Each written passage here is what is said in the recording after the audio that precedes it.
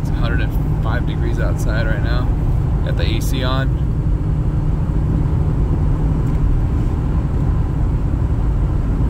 Cruise control is working as well.